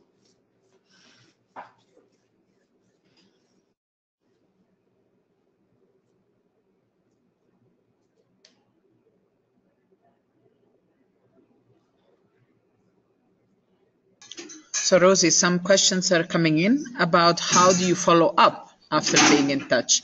So if you read now the, the example, uh, this is the first contact, and then what what, do you, what are the next steps? Okay. So, you know, hopefully, because this is not a, you know, 20 minutes, of course I'll, uh, uh, I mean, the, the number of clients that I've done this with, and they say, oh, it was amazing because we ended up having a conversation for an hour and a half um, uh, it, has been extraordinary. So, but you know, 20 minutes feels manageable. Uh, then when you start chatting to somebody because you love what you do and you love talking about what you do, etc., it becomes much more than 20 minutes. Uh, but it's just a very, it's just a way of addressing all those emotions and fears that we spoke about. Um, that it's just, look, this is just a first point of contact. I'm not putting any pressure on you, but I would really love to get your advice. And, and people feel great giving advice. So, so it's just a very good way of starting that conversation. So what happens during the conversation? Then I'll talk about the follow-up. Um, now, this is a conversation about them, not about you. And the thing is, you know, we often make that mistake because we're job hunting. We're like, look, I need a job. Uh, this is what I can do. Um, no, focus it on them because then that gives you the window to then talk about yourself. So it's a slightly different way of, of going about it. Um, so, so ask questions about their challenges, you know, what they're working on, how that's developing, where do they see that going. Uh, so ask questions, you know, around what they're doing. Um, and one thing that Daniel really recommends is, is to ask questions that you already know the answer to because you've done your research. Uh, I'll give you an example of that now, um, but it's a very intelligent way of, of going about things. Uh, you know, if you know that they have a particular challenge that you have actually worked on in the past, uh, then ask them, you know, about that challenge because then it can it gives you uh, the opportunity to say, oh, they're not super interesting because actually when I was in I don't know uh, in Zimbabwe, we had exactly the same problem, and actually, you know what we did about it was X, Y, and Z. And without, you know, it, it's it, in a very natural way, you're actually talking about what you do and what you can offer.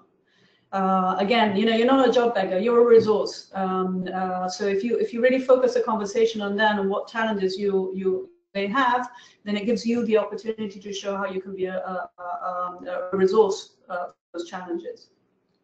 Uh, and then finally, if it's a nice conversation, it was awesome. Look, you know, I'm really doing my, my research. You know, is there anybody else that I can also, uh, uh, uh would you recommend that I talk to? Because the more information I have, the more I'm able to then, you know, uh, take decisions, etc.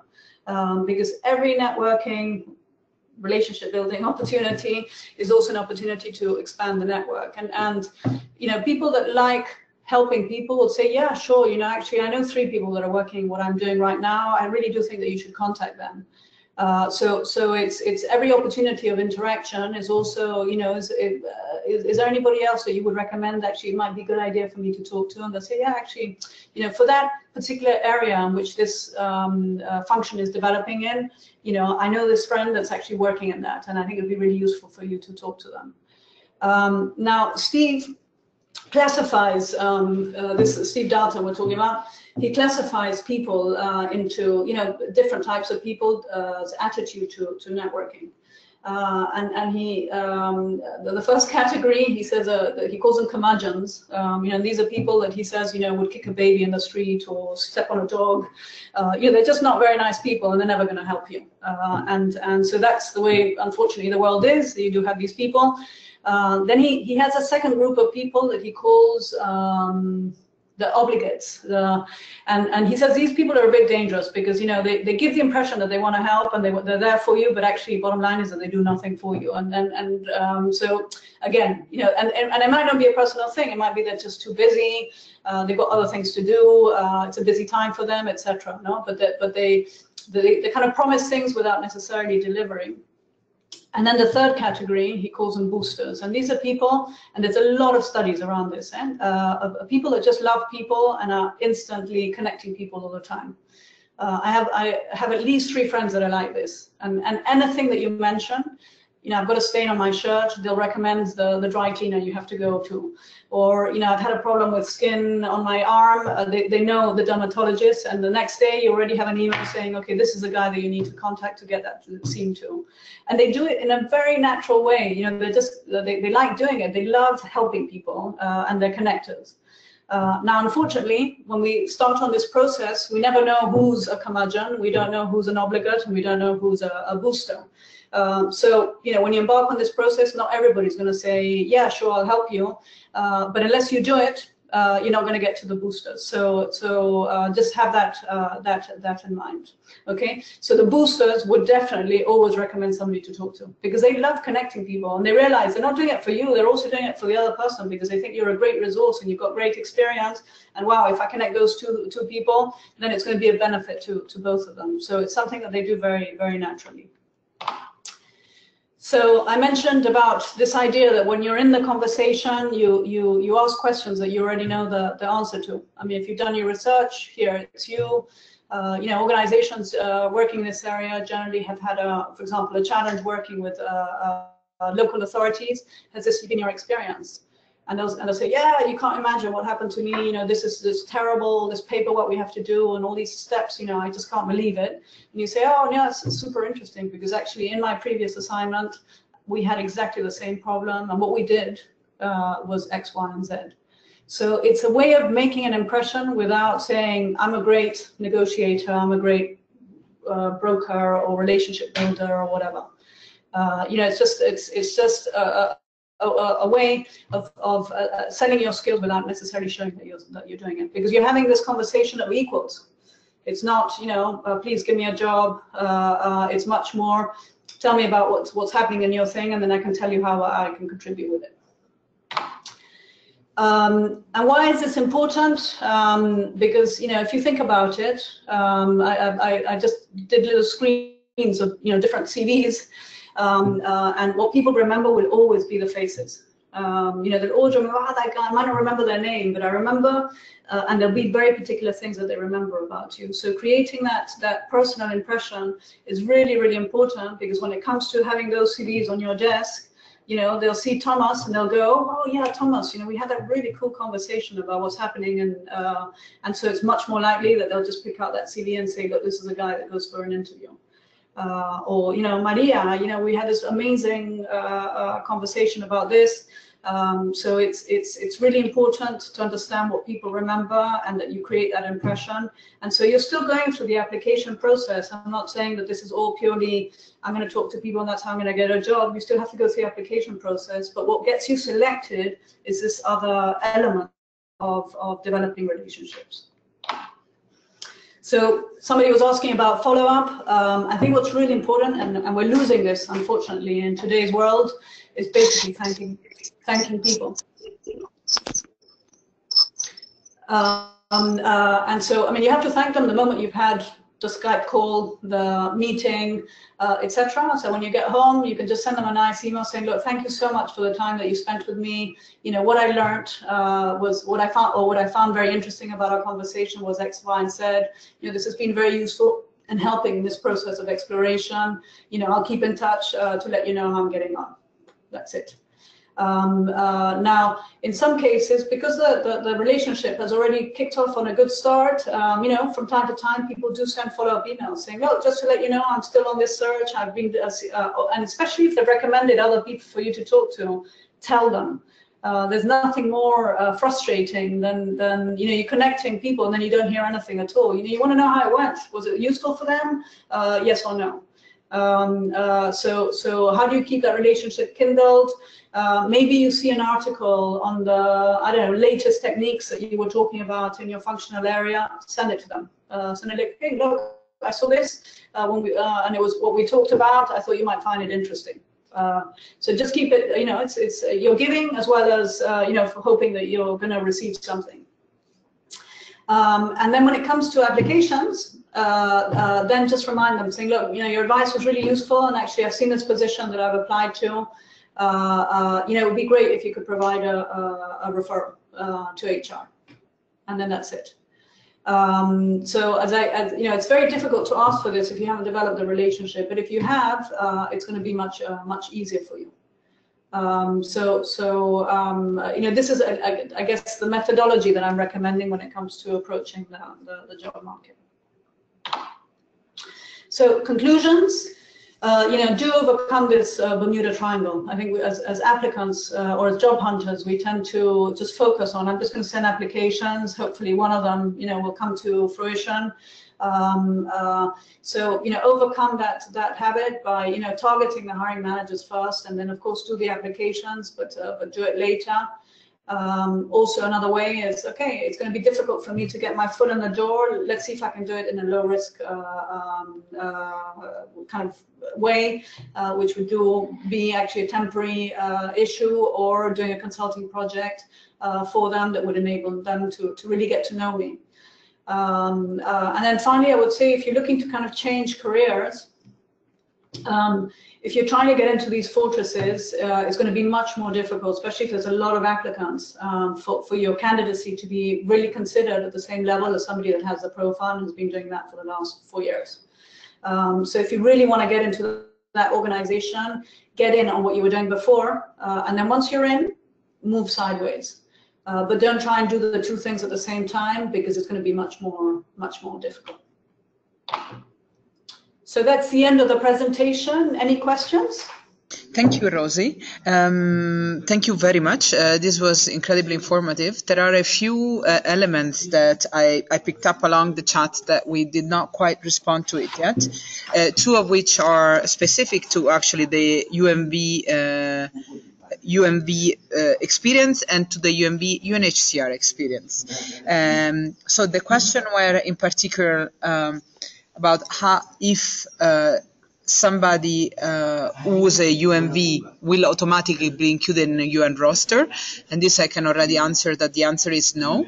Uh, um, what the U, UNV experience does is to give you uh, some entry points and to give you the experience to work within uh, within the particular agencies or a particular sector and in the UN system. So it gives you an understanding of how, how the system works and, and what the roles are, the functions are, but to be able to be included in rosters of the various agencies, you need to apply and you need to uh, follow the procedures that follows.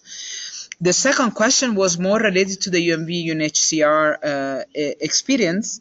Um, asking how when the if UN volunteers are considered then for UNHCR uh, in, in in various roles, um, and I do have an answer, which is the the fact that UNHCR does consider affiliate workforce where the UN volunteers fit in. So UN volunteers are considered affiliate, affiliate workforce for UNHCR.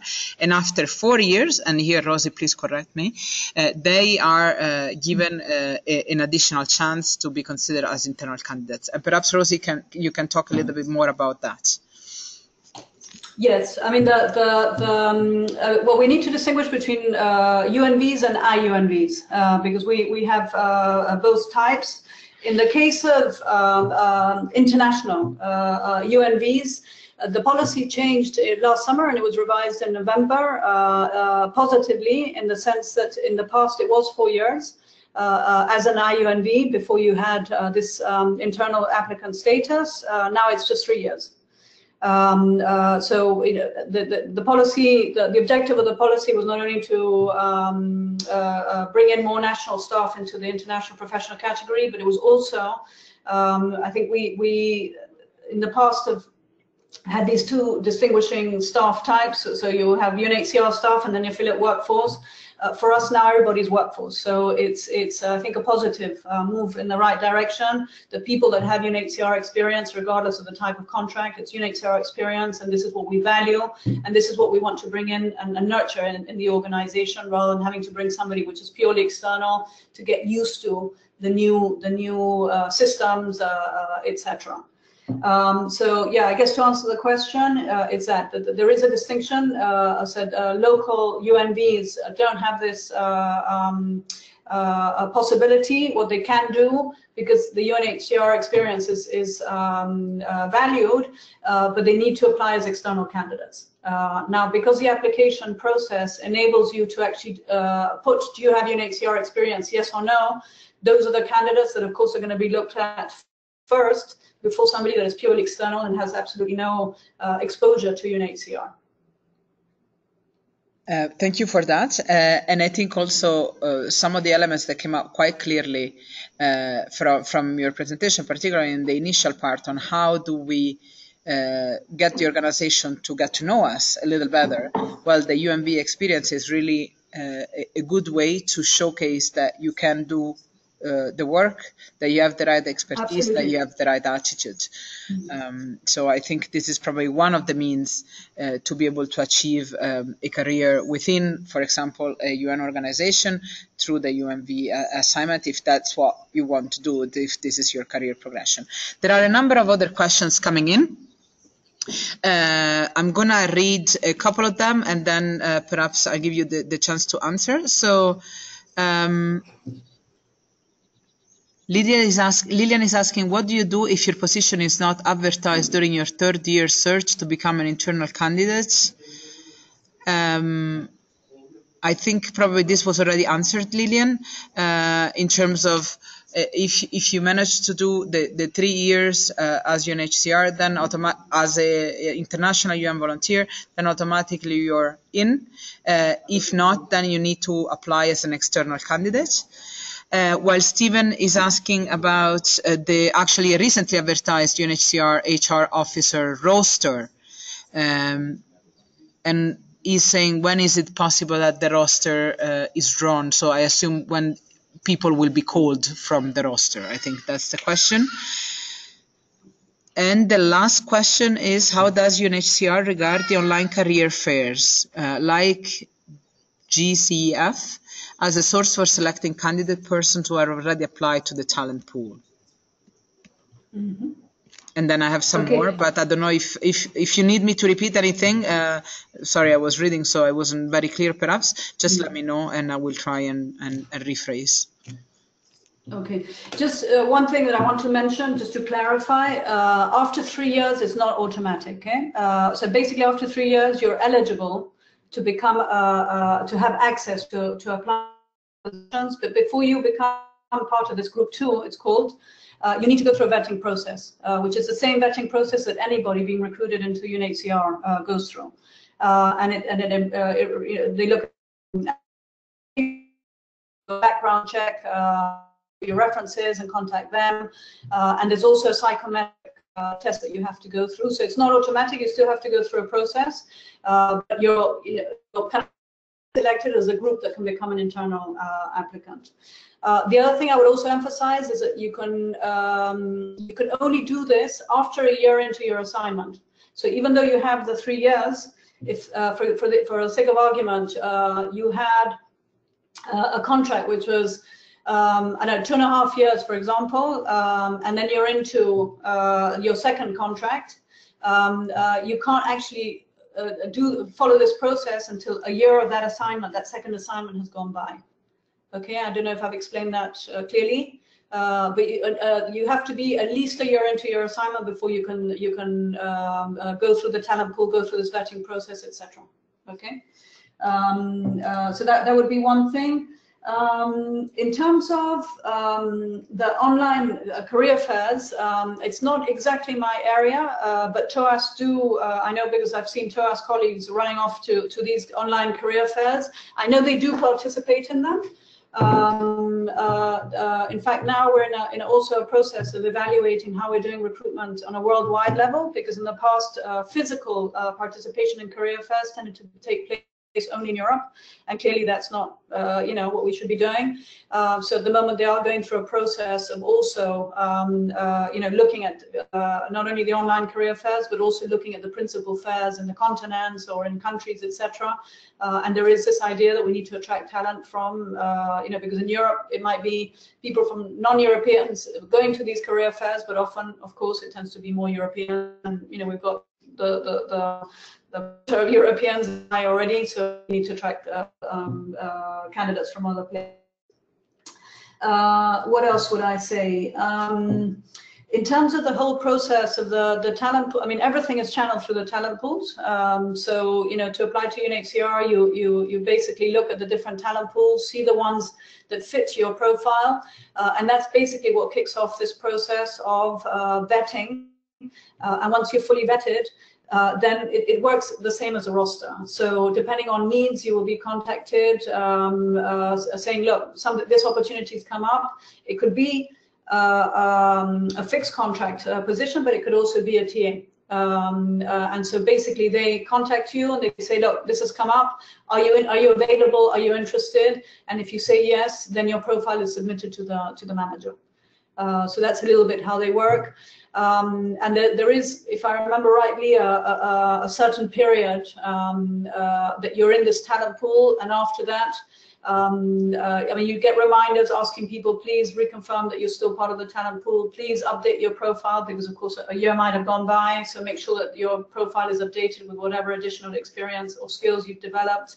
Um, uh, but it's it's not like you're in the talent pool for life. Um, uh, you know, at some point they say, okay, if you want to be part of the talent pool, you have to reapply. Rosie, there are some questions specifically for UNV. For so, for example, Balak is asking how can he be permanent part of UNV. So. Uh, uh, UNV as also a, a core uh, a, core of staff. So UNV there is UNV staff. As you know, UNV is administered by UNDP. So effectively, we are UNDP uh, employees.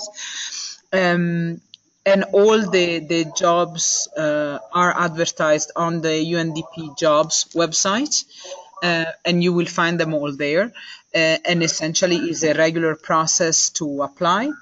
Uh, like in the case for UNHCR, also in UNV, when you have been a UN volunteer, this is also counted uh, towards uh, uh, your experience, and this is considered favorably uh, compared to other external candidates that uh, do not have the specific UNV expertise. Um, so essentially, it's just a regular job, and all the jobs are advertised on the UNDP website. Um, then I have uh, other questions um, for Rosie, or well, generic questions on how long before landing a job or expecting to land a job should you start contacting the people. So this is referring back to uh, making the connection uh, internal to the organization.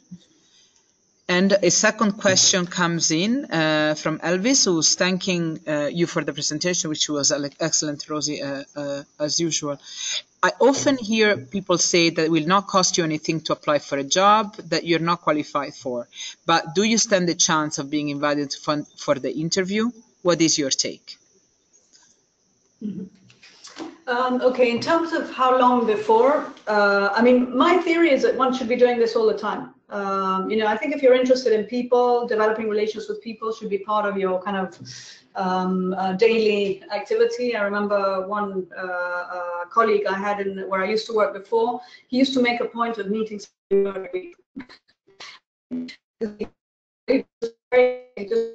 that worked uh, I mean, it's true, uh, you know, a university professor, expert in communication uh, and entrepreneurship, etc. But he just used to think it was just interesting to to um, uh, to meet very different people from your own your own environment because it's a way of really getting to know uh, uh, different things. you know, we tend to be very focused on our own thing and, and forget that actually there's a whole world out there. Um, but I mean, you know, without going to what Connor used to do, I think it's it's a good idea that you do this type of thing. Uh, you know, at every every opportunity that you have, as I say in a conference, you could just sit there and listen to the lecturer, or you could really take advantage of the breaks to make sure that you develop a relationship with somebody, uh, etc. Now, when you're in job hunting mode, uh, I would say at least uh, I mean, it depends because in the UN system, we take so very long to hire somebody. um, you know, in the, in the private sector, it takes on average six weeks to hire somebody, and and uh, in in the UN system, it's between uh, what minimum minimum four months to to to nine months. Um, so from that point of view, I would do it at least six months before, even even uh, uh, earlier, I would say. Uh, because again, it just takes time to develop that relationship, to contact these people, etc. So I would try and do it. Uh, I mean, the ideal thing is if you're doing it all the time, you don't have to kickstart a, a, process. But most of us have never done this, so I would say at least between six and nine months before. If it's you know something within the UN system, uh, if it's more private sector, I would say six months before. It's it's fine. So that was one uh, question, and I think there was another around apply. I've written down apply here. Uh, oh yeah, whether you should have applied to positions that you're not qualified for. Um, personally, I don't think it's worth it. Um, uh, I think you know these systems. I mean, I think it depends. If you're in a market where it's impossible to find people, uh, for example, you know, we, we uh, Chad, you know, there's not that many uh, uh, uh, people in Chad with a with um, a master's degree. Uh, so in that in that sense, it might you know because you need the master's degree, uh, etc. You might actually be a bit more flexible on somebody not having the background. Um, uh, but so in those markets where it's actually very difficult to find somebody, uh, you know, you don't have much of a choice. So you're happy to have somebody rather than nobody at all. But generally speaking, if you don't have the background, I think the best way of getting a job is is is talking to people.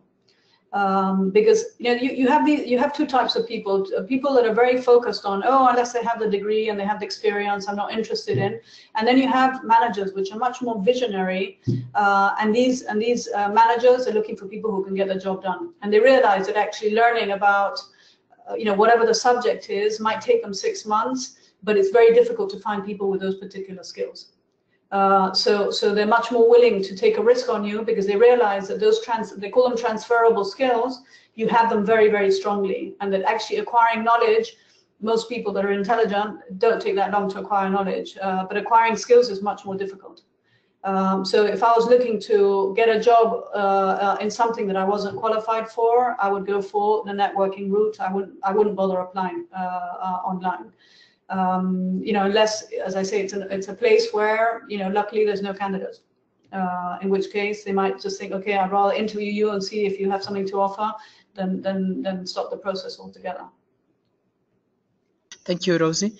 Um, then there are some questions on um, whether it is uh, advisable and acceptable for UNV to move from one agency to the other. And I would always recommend that depending also on what, what is uh, your career, let's say, um, expectations, what your career progression is and what your dreams are, uh, to get as much uh, experience as possible also in, in more diverse contexts, because that gives you really uh, an, an understanding on where to go, uh, where you can go, and if this is really the job for you, if this is something that you would like to continue pursuing. Uh, so I always recommend, particularly at the beginning of the, uh, of a career, to explore different avenues to really see what is that suits you best, uh, and and then dedicate yourself to become more specialist in that in that area. Um, other colleagues are asking also about if they're national volunteers, what is the best course of action, whether to, for example, look for a professional national position in their country or to go abroad as an international volunteer. And this really very much depends on what, again, what your career expectations are. If you want to work in international cooperation and international development, I would always recommend to go abroad, at least for a period of time, even if your long-term um, your long-term plans are to be back in your or country of origin. And this because it gives you a little bit of uh, a breadth of understanding of what international development is about and how to work in also a different context, in a multicultural context. Uh, this is my recommendation, again, when starting out, to also try and understand what is your path.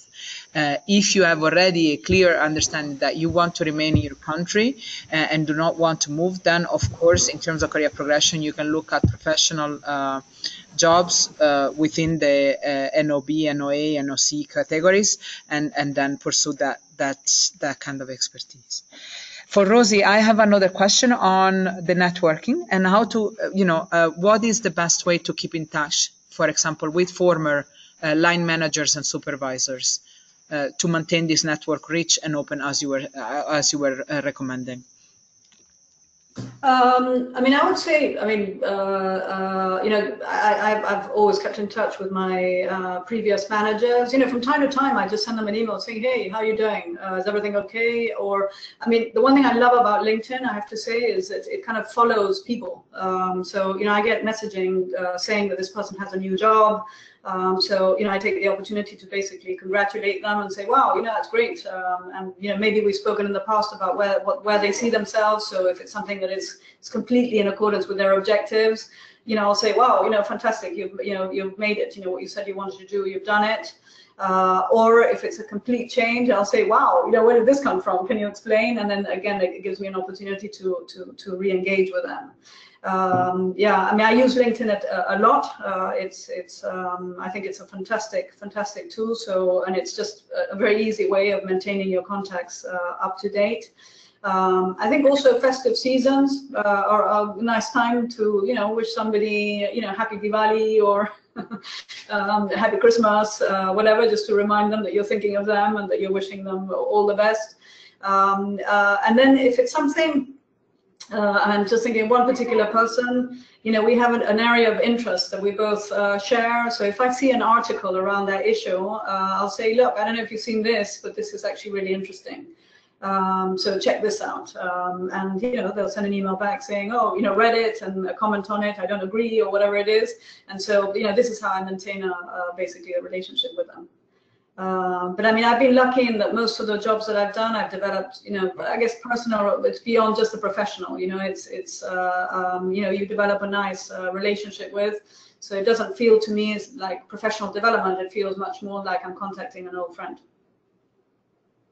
Uh, thank you for that. Um,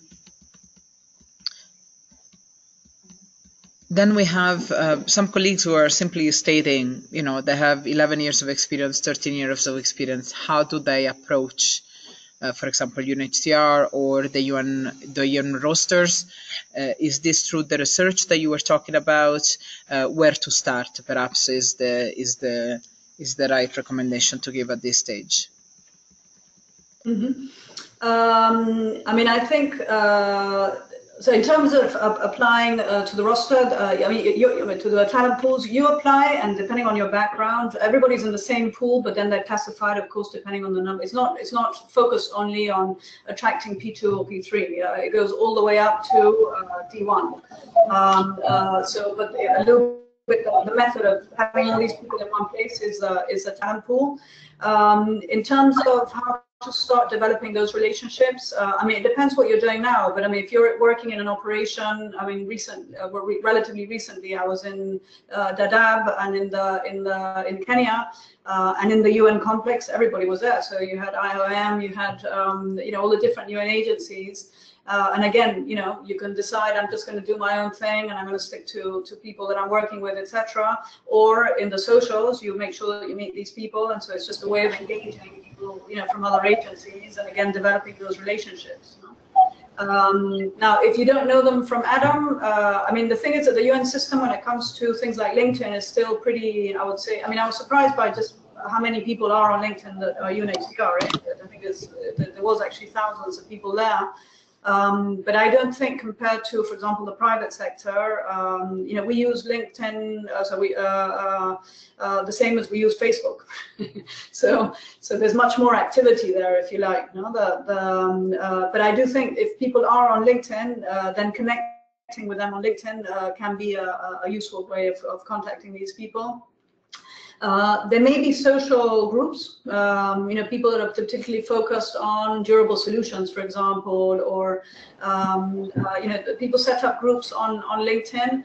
Uh, and the good thing about uh, about it is that once you join the group, uh, you actually have access to all their contact details. So then you're able to, you know, you don't need to have a contact request. You can already contact them directly because you both belong to the same to the same group.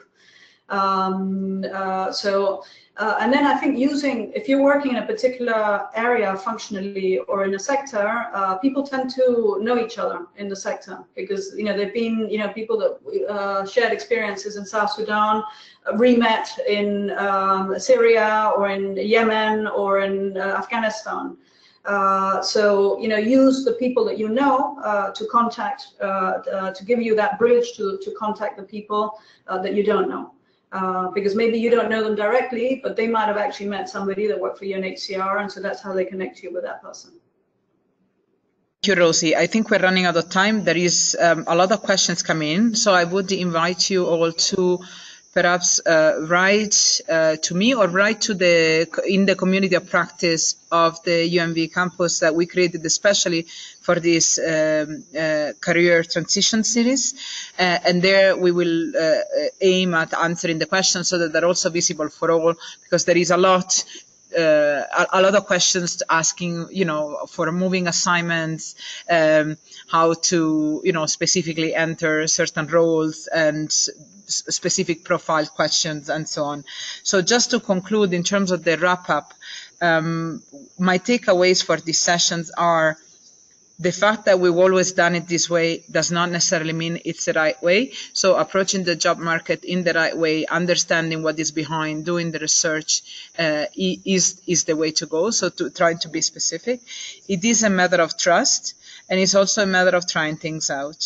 um, one other key lesson for me was to manage your expectations. So understanding that this is a, a big numbers game, uh, and and we need to stand out from the crowds.